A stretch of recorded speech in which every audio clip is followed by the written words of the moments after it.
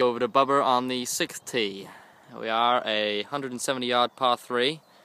A uh, few trees on the right, bunker on the left, and greenside bunker on the right. Now we'll go over to Bubba and his caddy. So you got a uh, you got a seven iron in there. Nah, a wedge. You got a wedge. Yeah. What shot you gonna hit? I'm gonna hit a hook. A hook. Yeah. Wind's off the left. Yeah, I'm gonna hit a hook around this tree. Okay. Are you sure about this? I'd rather you just take an 8 iron, a little cut in there, send to the green, or... Nah. No? I, I want to hit a hook, so I'm gonna hit a hook this hole.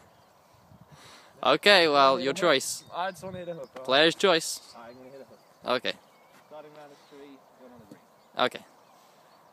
Jesus Christ.